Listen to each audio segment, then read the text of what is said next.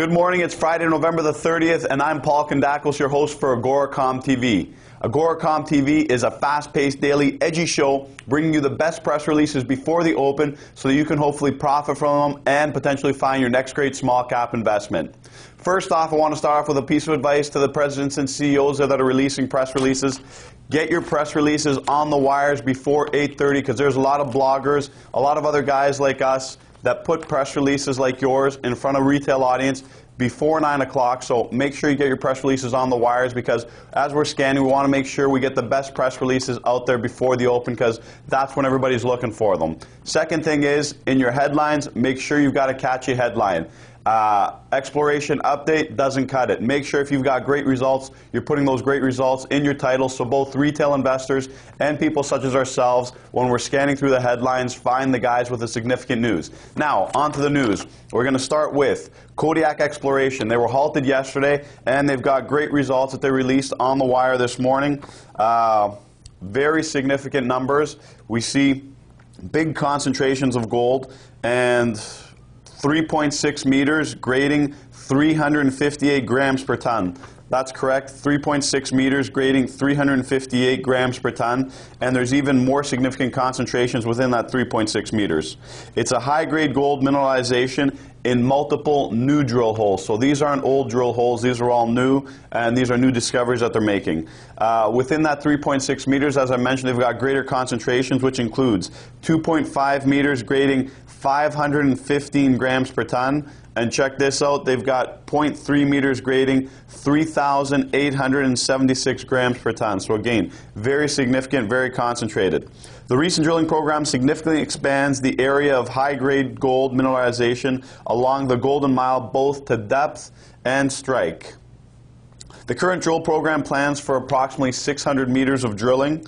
And uh, as I mentioned, it's Kodiak Exploration, which trades on the TSX Venture under the symbol KXL. The company has built a portfolio of 100% controlled projects focused on gold, base metals, including nickel and copper, and uranium in three different areas in Canada. Uh, before the halt, they traded at 359, and we'll see where they open up this morning. Next one I've got for you, is Sinchao Metals, which trades on the TSX Venture under the symbol SMZ. Sinchao Metals announced the discovery of 161 meters uh, of 0.81% copper and 0.71 grams per ton of gold on their Sinchao property in Peru. Uh, the drill hole was drilled approximately 150 meters to uh, 150 meters southeast of a previous drill hole, which returned significant intervals of mineralization. So as we can see, they're expanding their resource uh, estimates here. Uh, it's a 5,000 meter diamond drill program, and it continues to further test the continuity and limits of the zone. Sinchao Metals is focused on the exploration and development of the Sinchao property, which is located in northern Peru. Point of significance here is that it's 30 kilometers from the largest gold mine in South America. They're last at 85 cents, and they're off their 52-week high of $1.10.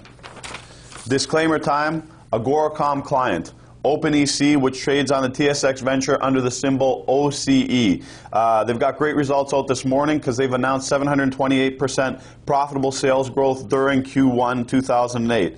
The revenues hit a record high of 1 million. Uh, 286,000, which represents an increase of 728% compared to the revenues of their previous uh, quarter from uh, ended September 30th, 2007. Uh, the company recorded a small profit of $21,000 in the three months ended September 30th. So revenue growth, small profit, very positive sign. Cash flow for operating uh, reached 514,000 in the three months ended September 30th, compared to negative cash flow. So again, very positive signs. And as we mentioned before, uh, we love the Chinese companies, uh, and as I understand, they have two subs in China. OpenEC Technologies is a company specializing in the acquisition of software companies in e-business, mobile business, and business-to-business commerce. Uh, they're last at 18 cents, and they're off their 52-week high of 28 cents. Final one I have for you today is on the OTCBB. Uh, they trade under the symbol QPCI.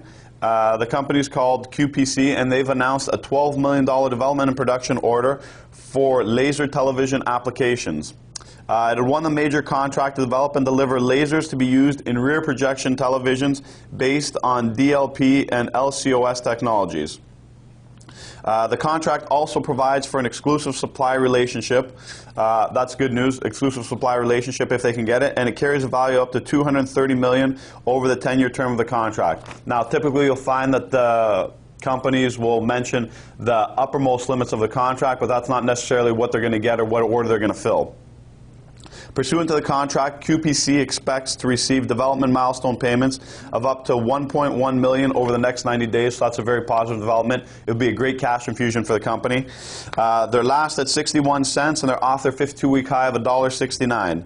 Uh, QPC Lasers is a world leader in the development commercialization of high brightness, high powered semiconductor lasers for the defense, homeland security, industrial, and medical markets.